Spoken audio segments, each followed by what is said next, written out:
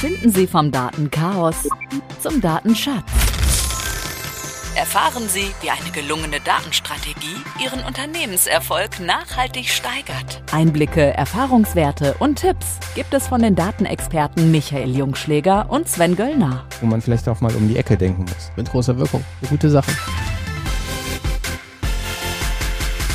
Bereit zum Durchstarten? Wertgeschätzt, der Podcast. Willkommen zum Podcast Wertgeschätzt. Mein Name ist Sven Göllner von der Bimano und heute ist wieder Michael dabei. Hallo Sven. Grüß dich. Na, wie ist die Lage? Noch soweit so gut, ne? Kann mich nicht beklagen. Ich habe dir was mitgebracht. du hast mir was mitgebracht. Auf jeden Fall. Und das wird dir, glaube ich, ähm, sehr gefallen. Ich weiß ja, du bist ja der absolute Fußball-Crack und Fan. Also kein Spiel ohne dich. Quasi. Ja. Und ähm, ich habe letzte Woche im Handelsblatt was gelesen von deinem Lieblingsverein FC Bayern. Ja, okay. Du lachst? Nein, nein, alles gut. Ich bin gespannt. Was hast du im Handelsblatt über den FC Bayern gelesen?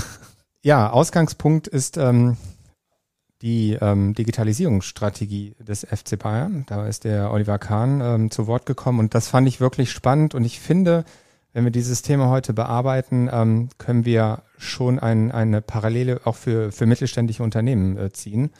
Ich ähm, erkläre kurz ähm, den Inhalt, was, was der Artikel ähm, beinhaltet. Es ging darum, dass ähm, FC Bayern jetzt eine Kooperation mit Adobe hat.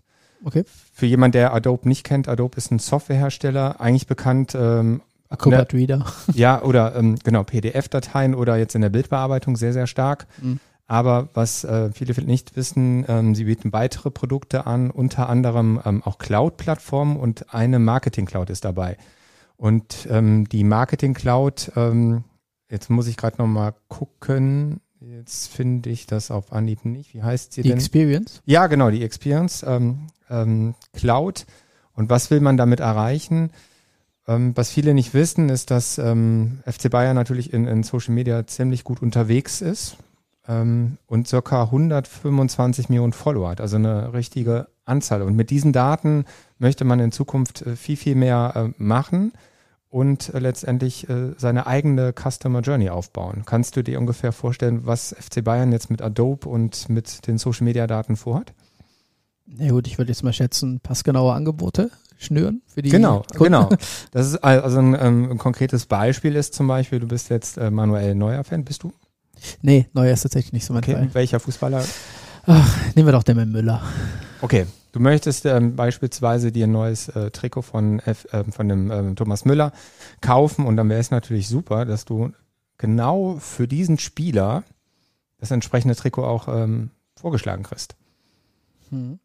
Okay, das heißt, ich surfe quasi auf den äh, auf der Plattform Ja. FC Bayern und äh, aufgrund meiner anderen ja, Klickaktivitäten, meines Nutzerverhaltens kriege ich dann andere Inhalte angewie- äh, angezeigt als du zum Beispiel. Wenn du Genau, also richtig zielgerichtet und nicht nach dem Schrotflintenprinzip, ich äh, hau jetzt einfach ein Angebot raus und irgendjemand wird es schon kaufen, sondern man guckt sich den einzelnen interessanten Lead, so nennt man das ja in dem Marketingbereich, genau an und ähm, analysiert das Verhalten. Und wenn du natürlich dich für ähm, Thomas Müller interessierst, ähm, liest die entsprechenden Nachrichten, äh, folgst dem vielleicht auf Instagram ähm, und so weiter, er ist ja auch auf LinkedIn sehr aktiv, dann wird ein komplettes ähm, ja, Bild von dir generiert, Mhm. ähm, ähm, letztendlich ein äh, Protokoll und ein, ein, ein Nutzerprotokoll und dann kann natürlich ähm, über dieses Verfahren dir ganz gezielte Angebote für deinen Lieblingsspieler entsprechend äh, präsentiert werden und das ist mal was anderes.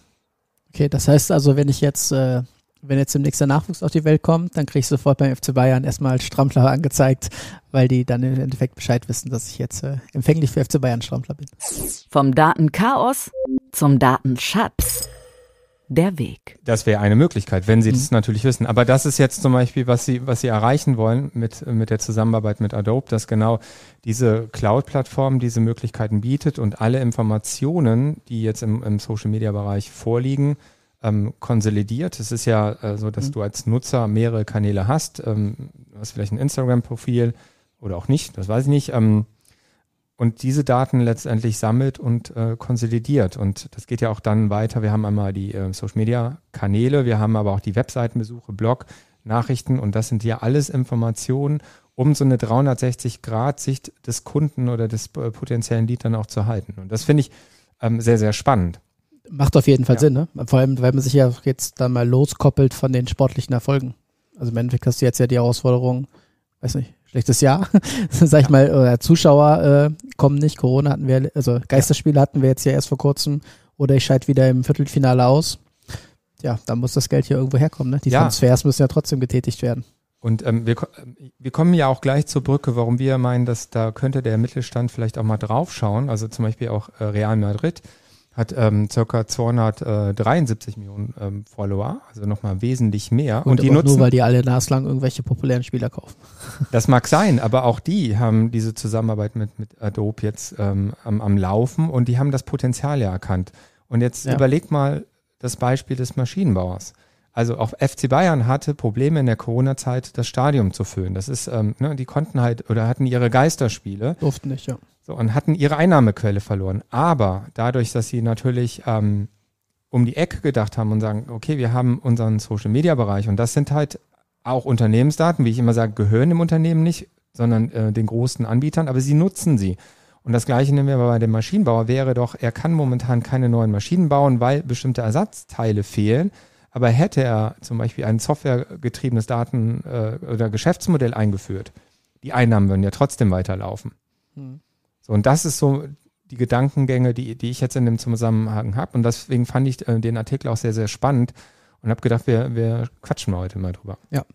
Der Werkstoff Daten für Wert und Wachstum. Die Analyse. Nee, ist auf jeden Fall äh, spannend und ist ja auch sinnvoll. Ich meine, man hat sich am Anfang ja jetzt nochmal kurz zurück zu dem Beispiel, überwiegend ja. auf die, äh, sag ich mal, internen Sachen konzentriert. Mhm. man hat mehr äh, Leistungschecks von den Spielern, sonst Taktiken, was weiß ich nicht alles. Ne? Alles digitalisiert, dass du dir die ganzen Videomaterialien angucken konntest und, und, und analysieren konntest. So, das war ja das Interne im Endeffekt. Aber das machen sie ja auch schon. Also auch die Fuß, also mehrere Fußballvereine gehen ja hin und haben ja äh, dieses Sport Analytics. Da gibt's ja auch genau, genau. Anbieter von SAP beispielsweise, wo ja schon die Spieler äh, ziemlich transparent sind, also Gesundheitsdaten und da lässt sich ja auch schon also sehr viel optimieren. Also das heißt, ja, genau, manche, aber ja. da ging es ja los, ne? Also ja. damit haben die angefangen. Deswegen wollte ich nur die Brücke nochmal so, schlagen okay, zu deinem Beispiel, weil ja. die ja gesagt haben, hey, ich fange erstmal intern an, hol mir meine Spieler, ja. also mal den Wert quasi sagen. Also das ist ja auch, die können dafür bilanziert werden, ja. zum gewissen Teil die Spieler.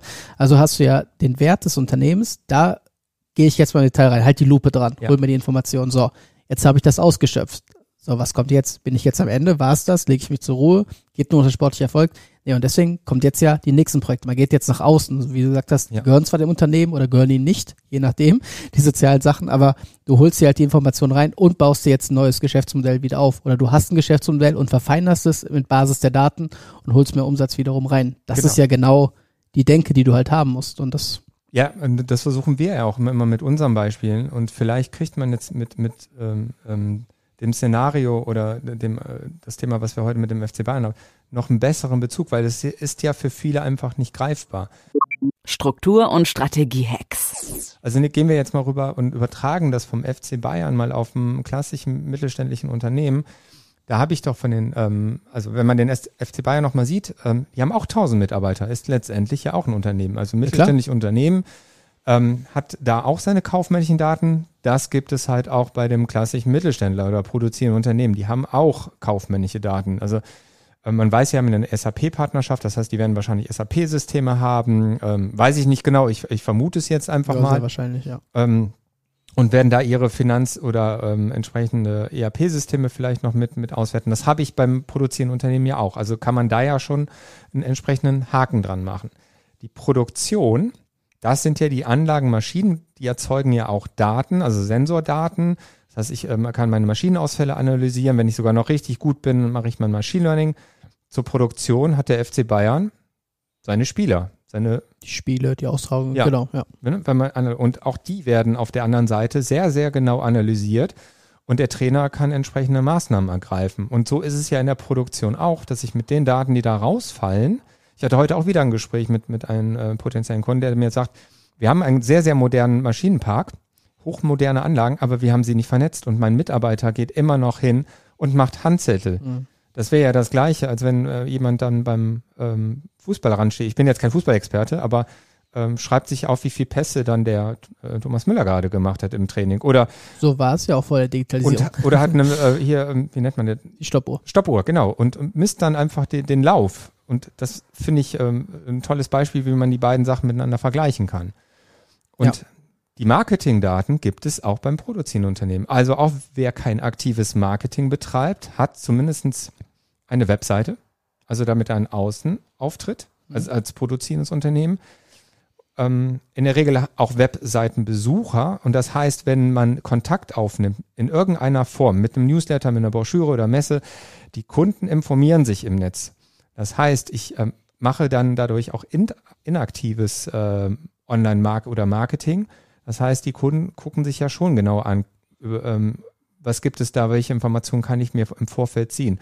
Und wenn das Unternehmen das nicht misst, habe ich, finde ich, auch einen Nachteil, weil so kann ich ja gar nicht auf ähm, Bedürfnisse eingehen oder auf Trends, weil ich sehe ja nicht. Vielleicht ist die Web kann den Vertrieb ja auch nicht richtig steuern, ne? Es geht ja viel verloren, allein ja. weil man den Vertrieb nicht mit richtigen Informationen. Oder auch die Webseite ist da nicht äh, sauber ähm, aufgesetzt. Das heißt, ich habe da entsprechende ähm, Button, wo ich Leute einlade, Kontakt aufzunehmen oder irgendwelche Whitepaper zu laden, herunterzuladen. Wenn ich die falsch äh, entsprechend bestückt habe, sehe ich ja gar nicht, wo er den entsprechend abbildet. Es gibt ja da auch entsprechende Werkzeuge, wo ich so eine Webseite analysieren kann, nicht nur von den Daten, sondern als Wärmebild und sage, wo springt der entsprechende Besucher denn ab?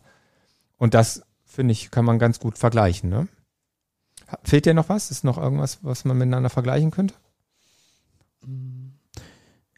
Nee, grundsätzlich ähm, ist es das. Und vor allem halt ja, den, den Willen aus einem total analogen Geschäft was Digitales zu machen. Ne? Ja. Also das ist ja auch das Entscheidende. Wertgeschätzt ab zum Neustart. Der Tipp des Tages. Okay, jetzt haben wir natürlich diese Vergleiche geführt. Wir wollen da heute auch gar nicht so tief einsteigen, aber ähm, was wichtig ist, vielleicht Unternehmen nochmal in die Hand zu nehmen und zu sagen, schaut doch bitte mal, ihr habt die Datenschätze im Hause. Ihr könnt da wirklich viel mitmachen. Und wenn sogar ein Fußballverein das hinbekommt, dann schafft das auch andere Unternehmen. Also das kann ich mir, also man muss einfach nur den, den ersten Schritt einfach vornehmen. Ja, ist ja nur ein Vehikel, um zu expandieren, ne? Den Bereich zu vergrößern. Ja. Das findest du überall. Also. Ich glaube einfach, dass es für viele nicht greifbar, die wissen nicht, wie sie loslegen wollen. Ähm, hast du dann noch eine Empfehlung für, für die Hörer? Die jetzt nicht wissen, wie sie loslegen wollen. Genau, jetzt haben sie das gehört von uns und gesagt, okay, das, das äh, gucke ich mir vielleicht mal, mal genauer an. Was haben ja, die? Gut.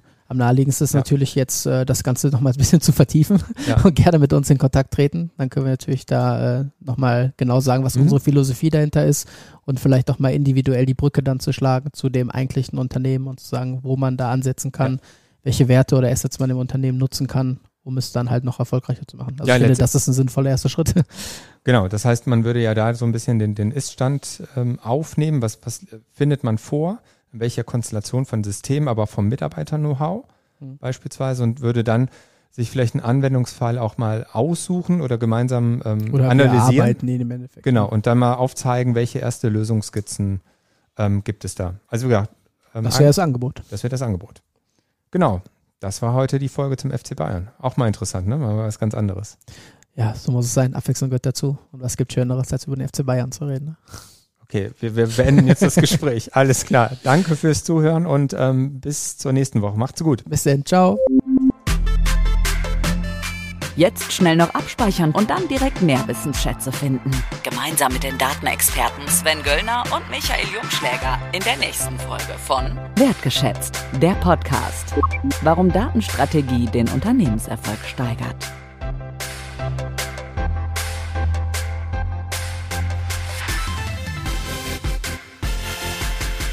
Mit einem Klick abonnieren und keine Folge mehr verpassen.